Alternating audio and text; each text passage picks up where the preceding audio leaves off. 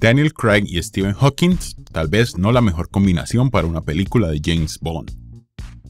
El superespía James Bond se ha enfrentado a una gran cantidad de enemigos durante sus 24 películas, presentándole al mundo algunos villanos memorables.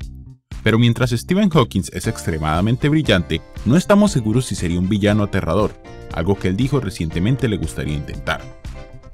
La película 24 de la franquicia de James Bond llegará a los cines a finales del próximo año, pero el Doctor Física Cuántica simplemente no tiene un chance de aparecer en la película.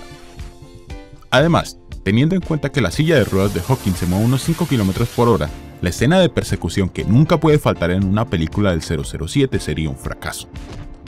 Pero, podríamos estar equivocados. Un villano que puede detener el tiempo o manipular agujeros negros sería aterrador, pero probablemente no aterrador para Bond.